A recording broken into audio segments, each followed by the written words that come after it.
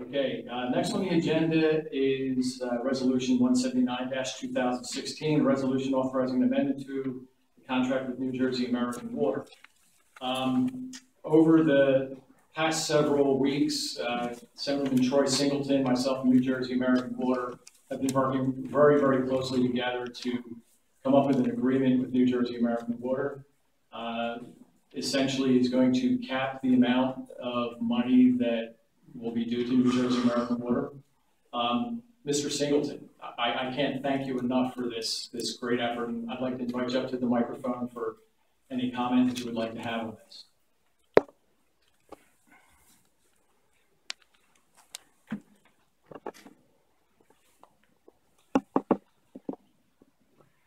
Mayor, if you'll forgive me, I'm going to turn to your. Oh, absolutely. My shared constituent. Mayor members of council, uh, first and foremost, uh, citizens of here in Moorestown. I think, uh, what the mayor and I tried to accomplish with New Jersey American is something that I think is emblematic of what our democracy is actually all about.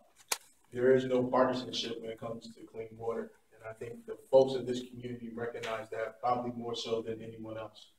Uh, the mayor, when he reached out to me, when we had this conversation about how to address this situation with the water piece in Moorestown, recognize that there's a lot of pieces to this.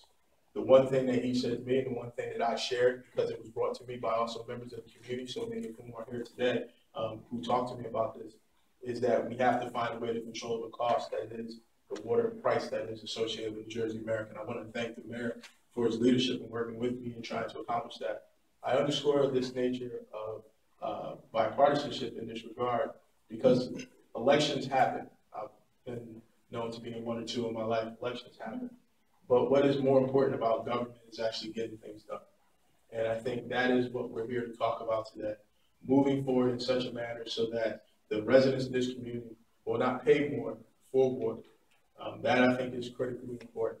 I think the innovations that this council is, is looking at, I heard it said on a bipartisan basis, I think are important to help us move beyond this chapter of Moorestown's history and make sure we can move forward in a positive manner. The situation with New Jersey American on the ground itself, um, I think the, the mayor is being a bit humble, and I, but I will speak very plainly. If all goes according to the deal that we have worked out collaboratively, it would save Moorestown in the neighborhood about a million dollars. That is not a small change in any the woods. A million dollars in which that was paid the year before will be paid less from the township residents of Moorestown uh, for their water. So Mayor, I want to thank you once again uh, for your work in this effort. I, I know it was not easy. It was very arduous getting us to this point. Uh, but I thank you for your partnership in, making that happen. And to the residents of this community who brought this to everyone's attention and raised the volume on this issue, thank you. Because again, that is the, the better angels of our democracy, when our citizens uh, stand up and say they want change, and your elected officials bring you that change. So thank you very much for doing that. Thank you very much, Mayor Garwood and the members of this council uh, for your partnership in, in getting that done. Mr. Mayor, if you had any questions or your Mr. comments? I just would like to thank you very much, and I, it's, it's been a pleasure to work with you, and I look forward to working with you more in the future. Thank you.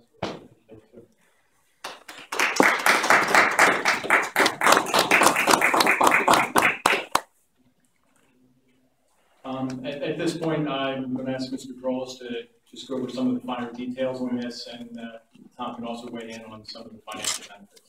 The essence of it is very simple, uh, and when we met with Jersey American, uh, they expressed to us uh, their awareness of uh, what we're dealing with in Moorestown uh, on our water supply uh, system, the upgrades that we're undertaking, the money that we're spending, quite frankly, to see to it. Um, and as well, our, our existing form of contract with Jersey American, the General Maintenance Service Agreement, and uh, our ability to uh, provide water that we buy from Jersey American in a manner that's most cost efficient. Uh, Jersey American realized that in 2015, uh, we spent uh, a fair amount of money on, on, on a, on a short-term basis, more unexpectedly, uh, given the uh, restrictions that were placed on our use of well seven and nine. Um, they were closed. We bought more water from Jersey American, and Jersey American realizes that we're buying more water from them in 2016. So what they tried to help us accomplish is a limit on the amount of money that we're going to spend for Jersey American water through the end of 2016. The form of the agreement remains the same. We can't convert to another form. But under the existing agreement. Um, It will save us uh, slightly more than a million dollars we have to pay through the end of the year for the water that we expect conservatively to purchase from Jersey American. And we, we, uh, we're very grateful for the offer that they made, um, and we're very eager to implement it so that we can pass the savings along to the town. And that's essentially it. May I ask a question? Um, Um, Actually, we get comments after the public okay, on resolutions. So at this point, I'm going to open up the floor for public comment and questions on this uh, resolution.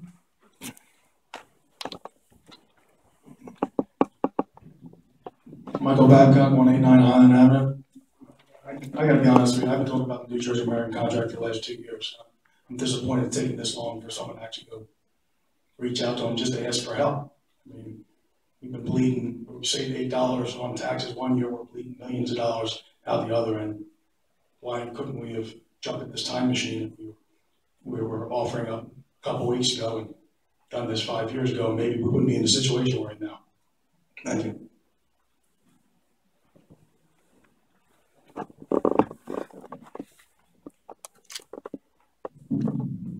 Katie Angelini, two three three Hedgeman Road.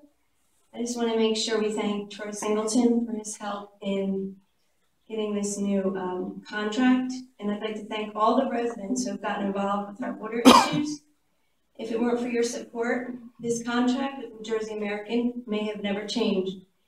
In turn, saving taxpayers millions of dollars. Don't tell anyone, don't let anyone tell you that one person can't make a difference. It simply isn't true. I personally would like to acknowledge and thank each and every one of you. Thank you. Thank you, Katie.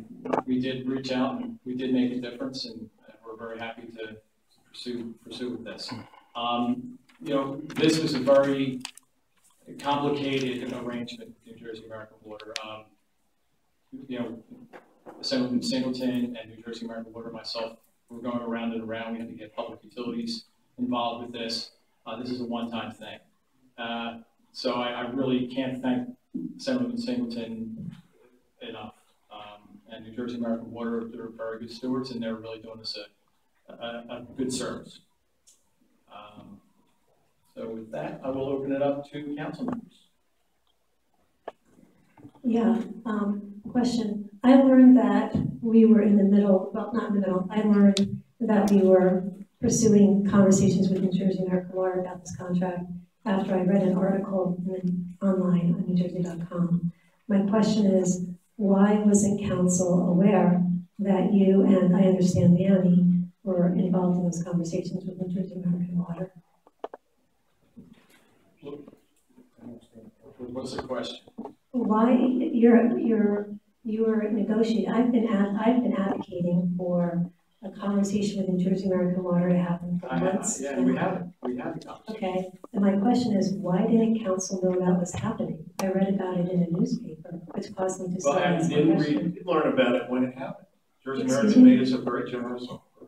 We accepted it, and we passed it on to you, Okay. tell you what we've done. Why didn't you tell council that you were, why didn't you, maybe council did know, I didn't know, maybe, why wasn't council aware that we were, this would have been a welcome development to this town, everyone would have welcomed that. Why wasn't council informed that we were negotiating? Rest assured, rest assured, Jersey American made us a very generous offer. Jersey That's not what I'm asking, Mr. Jersey- Ellis. I'm not, I'm- I'll finish my answer, thank you. Jersey American made us a very generous offer. We've explored with them the possibilities of doing other things under the GMS contract. They know there's nothing else that can be done. They made us a very generous offer, and our response to their generous offer was, thank you, do more. No, that was not our response. Our response was, thank you for your very generous offer. You're saving us a lot of money this year. We look forward to working with you again next year. I'm not sure which question you're answering, because the question I am asking is, why didn't someone from this township notify council that someone, some council members, that this township was acting on behalf of council and conducting business? I didn't know that we were in the middle We had the i's dotted and the t's crossed. We brought it to council for the resolution to be approved. So you don't like the idea? no, that's not it at all. I'm- Okay, all I'm right, just to make sure, so you no. do believe that this is very good, so you're, you're having an issue with the process of which you think this was, I have, I think this is, this is great. This is something that I've been advocating for for a while. This was something that I've been asking for months. people up here have been questioning that it was even This, possible. discount on the price of water through the end of 2016, you've never said that. Excuse me? You've never said, I, go to Jersey American and get a cap of $1.5 million Excuse me. dollars This is for something the that we, cost of water through the end that of is not, 2016. that is not true. I have documentation that I sent to Scott and I sent to Tom saying, just ask. This is, We this have is not a nothing contract, to this is just an amendment, this is a one-time amendment to the Exactly. contract, that's it. And, Exactly. We cannot change our contract. we have, we have Can been I- actually, the past couple years, looking into changing the contract, doing different things. It's not, it's not something that we, we've gone at, Tom's gone down that route, we've done it several times. It's because of where we are and, and, and how the situation is, we went back to, I'm assuming, you went back to them and asked them again with Tom. Were you with Tom? What, what I believe I was asking before, with the commodity. Yeah.